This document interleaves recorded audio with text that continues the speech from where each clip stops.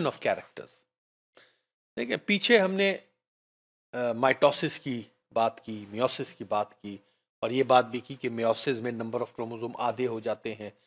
तो number of chromosome को आधा करने का मकसद क्या है? फॉर एग्ज़ाम्पल कोई एक ऑर्गेनिज्म है उसमें टोटल बीस क्रोमोजोम्स हैं। ठीक? यहाँ मैं आपसे क्वेश्चन अगर करूँ कि मुझे बताइए कि उसके जो स्पर्म या एग होगा उसमें क्रोमोजोम कितने होंगे? ठीक उसमें दस होंगे, उसके स्पर्म में भी दस होंगे और उसके एग में भी दस होंगे, ठीक?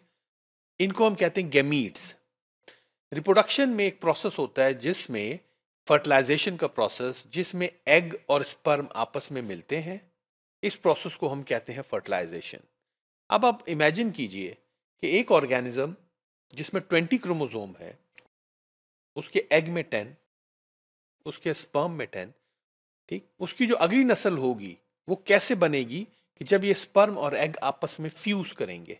जब ये फ्यूज करेंगे तो एग में टेन स्पर्म में टेन दोनों ने फ्यूज किया। उसके फ्यूज करने के नतीजे में जो स्ट्रक्चर बनेगा, उसको हम जाइगोट कहते हैं।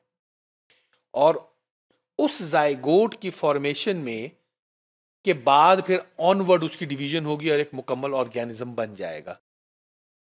अच्छा यहाँ एक चीज़ बता दूँ कि जो नंबर ऑफ़ क्रोमोजोम दो टर्म्स आपको मैं बता देता हूँ, आपकी बुक में गिवन है, कि नंबर ऑफ़ क्रोमोजोम्स जब हाफ़ हो जाता है, यानी जब मियोसिस के बाद जो नंबर ऑफ़ क्रोमोजोम आधा रह जाता है, इसको हम कहते हैं हेप्लॉइड एन इसको एन से रिप्रेजेंट किया जाता है। ठीक? और जब माइटोसिस में जब नंबर ऑफ़ क्रोमोजोम हाफ़ नहीं होता, उसको हम कहते हैं डिप्लॉयड सेल तो ऐसा सेल जिसमें नंबर ऑफ़ क्रोमोजोम हाफ़ रह गए हों, उसको हम हेप्लॉयड सेल कहेंगे। और ऐसा सेल जिसमें नंबर ऑफ़ क्रोमोजोम रिड्यूस ना हुए हो, उसको हम डिप्लॉयड सेल कहेंगे। अब मुझे एक बात बताइए। एग, स्पर्म, फ्यूज किए जाइगोट बन गया। मुझे बताइए, जाइगोट में जाइगोट हेप्लॉयड होगा या डिप्लॉयड होगा? स्पर्म, फ्यूज किया और अब जो न्यूक्लियस है, ये डिप्लॉयड हो गया और उसके बाद सेल डिवीज़न शुरू हो गई। And this cell division is mitosis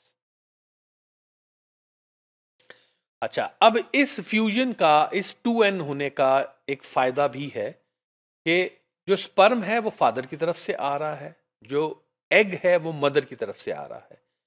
और उसमें आधे नंबर ऑफ़ क्रोमोजोम है मदर वाले, जो एग है फादर वाले स्पर्म में भी आधे क्रोमोजोम है तो जब दोनों आपस में फ्यूज कर जाएँगे तो जो ऑफस्प्रिंग है, उसको आधे सेट्स ऑफ़ क्रोमोजोम फादर से मिलेंगे, आधे सेट्स ऑफ़ क्रोमोजोम मदर से, यानी दोनों दोनों पेरेंट के 50 50 डीएनए उसको मिल जाएगा।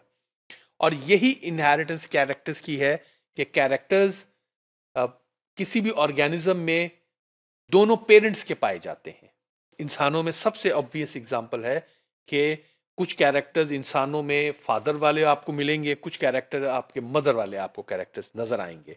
किसी की शक्ल अपने मदर से मिलती है, किसी बच्चे की शक्ल अपने फादर से मिलती है, ये इनहेरिट होके आ रहे हैं।